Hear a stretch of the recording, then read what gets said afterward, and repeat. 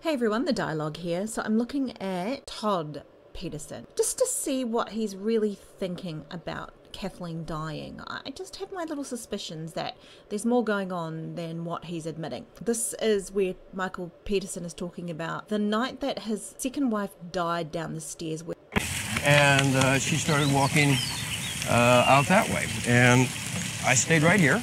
Don't think I think anything special to her. Certainly not thinking this is the, you know, last time we're going to see her. now, even though he's talking about the last time he's going to see her, he's pretty flippant about it. He's pretty casual about it. There's no sense of grief or anything like that going on. No anxiety. Maybe a little bit. You know, it could be his personality, but it's just a little bit odd behavior. I said goodnight. Uh, I'll be up a little bit later. And uh, stayed here. And she walked. Notice how he's saying I stayed here twice, so he's really qualifying that. And the last I saw her was when I was there, and she was just walking, walking here. Just as a qualifying statement, but I, that's it. That was the last I saw Kathleen alive. No, she was alive when I found her. and notice how he's touching his little hands because he's self-soothing at the moment. But Durham 911, where's your emergency? 1810 Cedar Street, please. What's wrong? My wife had an accident. She's still breathing. What kind of accident? Still down the stairs. She's still breathing. Please Is she conscious? What? Is she conscious? Notice how he goes, what? And when we do that, when someone's asked us a question, we've heard it, but we say what to buy time, or we need to clarify what they've said. No, she's not conscious. Okay, how many stairs did you What? fall down? Huh? How many stairs? Stairs. How many stairs? Calm down, sir. Calm down. No, uh, 15, 20, I don't know. Please, get somebody here right away, please. Sounds like, I mean, to a trained ear in acting, which is myself, it does sound a, li- a little bit like acting going on. Okay, somebody's dispatching the ambulance No. while I ask you questions. It's, it's, it's off, off, off. It's in Forest Hills, okay? Please, please. This is purely based on opinion, however. Now, this is who we're looking at. We're looking at Todd Peterson. It's just such a shock when I drove into the driveway. Seeing ambulances, just think, oh my God, uh, did somebody have a heart attack? Never in your wildest dreams would you think of anything. Uh, you wouldn't know what to think. So, on the get go, for me, I do have a problem with Todd. She is having, I mean, I'm not sure if this is duping delight or what, what have you, or if this is his personality. I'm suspecting it's part of his personality where he's a, a little bit light rather than uh, heavy. You know, but having said that, I do look at his face and there's a little bit of a smile or a lightness, a little bit light, considering that his stepmother has been killed down the stairs. It was just such a shock when I drove into the driveway. Seeing ambulances, just think, oh my God, uh, did somebody have a heart attack? Never in your wildest dreams would you think of anything. Uh, you wouldn't know what to think. So he's fumbling over his words. Even he doesn't know what he's talking about. So I feel like he's trying to cover something up or he's not just being as straight as he could be. My first thought, of course, was my dad had a heart attack. Uh, he's a little older than Kathleen. Okay, that makes sense. And and he was nodding his head. So yep, congruent. So when I ran in there and I saw my dad alive, I was quite honestly a little relieved, thinking, oh, phew. And uh, then he was able to mutter the word, uh, something along the lines of, Kathleen, Kathleen, oh my God, this, this, this, this, oh God, Kathleen. And uh, he was motioning in the direction of, of the staircase. Sir, sir, somebody else is dispatching the ambulance. Okay, is she awake now? Hello? I don't know where the phone is now. I mean, it, it could make sense where he's going all upset like this and putting the phone to his side. But if he's hearing it and not saying anything, it's just weird. Hello? Again, I got harked back to acting.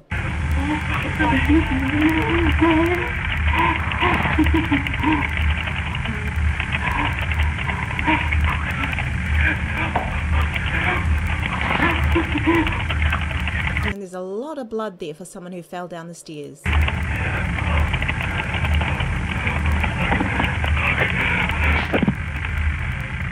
And it's weird how he filmed it too. So there was some uh, certain photographs on the computer. Did you know that he was on the computer at times? So they're talking about the pornography photos that they found on the computer of his father, Michael Peterson. Looking at some of those uh, photographs, uh, pornography. First of all, did you think? Do you think Kathleen knew about those photographs on the computer? My father had received a computer virus several months earlier. What the virus did is that it uh, took all So he didn't answer the question straight up. He didn't say yes or no. And you know that when they don't answer yes or no and they're going around the question, you got to dig deeper. And it's a red flag that should pop up. Doesn't mean he's in deception. Likely that he's trying to cover up somehow. Why? I don't know. Let's have a look. all the files on your desktop. And it uh, snatched them up and it would email to everybody on his email list. Everything. So this would include book chapters, photographs, software, and including uh, these pictures you're talking about. I was over at the house one weekend, like usual, watching a football game. And on my way into the, uh, the TV room, I'd heard a uh, discussion inside the, uh, the kitchen that sounded pretty interesting. And I uh, kind of creeped up closer into the kitchen, listening in. And it was Kathleen talking to my father about the photographs on his computer saying, I want you to get them off. These possibly could have been sent out to our friends, to our neighbors, and I want you to get them off. If you ever get this again, I don't want this to have to be a concern of ours. So it was a full So it's, it's very convenient that he heard this conversation between Kathleen and his father about the pornography photos, that she ultimately did know about these photos, and he's sort of backing this up. But it's just a little bit convenient here, and I mean, it could be true, but it's still convenient. full conversation completely acknowledging the fact. And what was Kathleen's attitude at that time? I mean, was it anger or? No, no, it, it was not anger at all. It was more of a get them off the computer. Okay, so a woman who doesn't wants these off her computer is not angry about it. Well, that could be the case if it wasn't Michael's fault, but I think it did come out that it was Michael's fault because he did have pornography on his computer and he was bisexual and had all these relationships and affairs. Uh, Kathleen was a, a terrific woman. Uh, she's the only reason I ever saw my father happy. I'm finding this a little bit of an anomaly here because his body language is showing something different. He's shaking his head a little bit. she's the only reason I ever saw my father happy. I never knew my father to be happy until Kathleen came along. She Okay, so he's painting a great picture of their relationship. she made a family out of nothing. She uh, had a wonderful marriage with my father, and she took in Margaret and Martha and made them uh, her own daughters. She Again, I may be a bit, being a bit critical here, but he was going, but they had a wonderful relationship. So he's really painting the picture of perfection, which I always have a red flag going up because not one person's relationship is perfect. is a single greatest source of happiness to the to the people that I that I hold so close to me. She made my father's life. She made Margaret Martha's life. Okay, right. She made my father's life. She made Margaret Martha's life. Okay, so he had a bit of a strain in the face when it comes to the two girls who are not his children, Michael's children, biologically, but adopted. There may have been some sort of thing there going on between her and, and those two girls. I'm not 100% here, but there was a strain in his face. Her for that. She He wasn't sure, his shoulders went up. quite simply, she's done more for the people that I've known and loved. Done more for them than anyone I've ever known. Yeah, I'm not buying it. I'm not buying it. The shoulders went up and he's got a bit of a side eye going on here. And I'll always love her for that. And noticing uh, how he's sort of rubbing his hand. So there's something there. And he's in deep thought right now. Kathleen and I were enormously happy.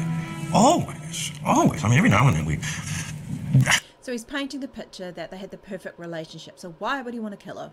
I mean, there is no motive really apart from the fact that he was gay. He, she might have found out about it and she didn't like it, and maybe they had an argument over that. That could possibly be the motive, but no one's really found a definitive motive here. I don't want to throw this guy under the bus, Todd Peterson, because you know he loves his father. They were all under a lot of stress. I think that he is definitely on his dad's side and I think he's he's covering up a few things. I'm not saying he knows about that he killed him, but I'm saying he's covering up the perfect relationship. There's no such thing. He's embellishing it, put it that way. Is he a complicit? I don't think so. But that is my reading of Todd Peterson. Hope you enjoyed this. This is the dialogue. Please like and subscribe and share. And do check out my Patreon page. Thank you for my patrons who've been supporting me over the past few months.